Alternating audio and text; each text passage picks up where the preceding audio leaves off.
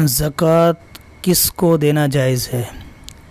आ, ये इसका जवाब तो मैंने आ, दो दिन पहले दे दिया था। आ, मुफसल दिया था तफसील के साथ। अब मुख्तसर सुन लें फिर भी। ज़क़़त हर इस मुसलमान शख्स को देना जायज़ है।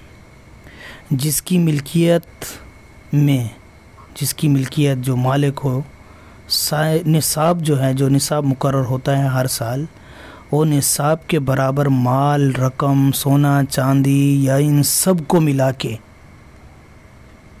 ना हो तो इसको ज़क़़त दे सकते हैं। ठीक है? और वो सईद भी ना हो, याद रखिएगा।